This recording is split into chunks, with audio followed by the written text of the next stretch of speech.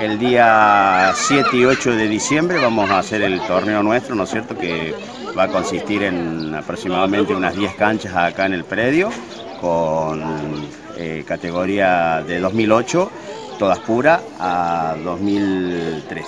Eh, digo por ahí con una jornada de, encuentro aquí en Once Tigre con, con escuelitas de, la región, ¿no? Sí, sí, sí, con las escuelitas acá de la región, la gente cultural de Arroyito, la gente de Cebollita, eh, la gente de, Futuros Ídolos, el club Vélez de acá, la gente del club Vélez de acá de la localidad, el, Capilla del Carmen y otras escuelitas que se están llegando.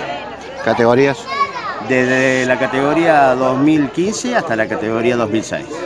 Bien, eh, y bueno, es lo que mencionábamos también por ahí fuera de, la nota, con una gran jornada de fútbol, donde eh, también se tiene el fútbol de primera división, el fútbol de tercera, eh, siendo protagonista, digo por ahí, como te pasó en, en la apertura, que fueron campeones, o hoy siendo protagonista también en el clausura. Sí, la verdad que sí, ahora todos nos juegan a, ganar, ¿no es cierto? Eh, eso nos está pasando, ¿no es cierto?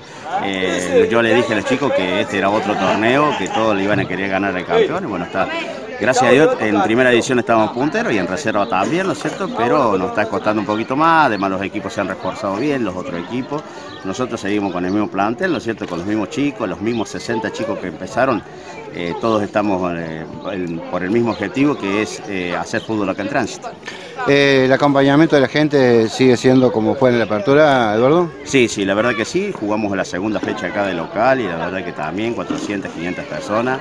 Eh, volvemos a jugar la sexta fecha acá en tránsito. Ahora se juega en Luque hoy y el domingo que viene Capilla del Carmen, que es la quinta fecha, y la sexta se volvería a jugar acá en tránsito y la verdad que bueno, esperando que vuelva a ser una linda jornada de fútbol.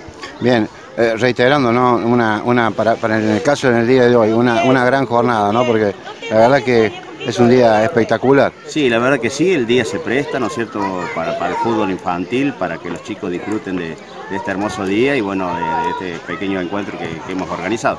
Bien, Eduardo, como siempre, el agradecimiento nuestro por, por la atención, por, por tenernos en cuenta y, y, nosotros poder llevarle a mucha gente lo que pasa acá en Once Tigre. Bueno, Fernando, agradecerte a vos y a todo tu equipo, ¿no es cierto?, que siempre eh, estás predispuesto cuando nosotros te llamamos a, informar todo lo que nosotros hacemos acá en la localidad de tránsito, no solamente en el fútbol eh, femenino, mayor, eh, menor, sino también en todas las otras actividades que tenemos de la Casa de la Cultura. Nuevamente gracias. Muchas gracias a vos.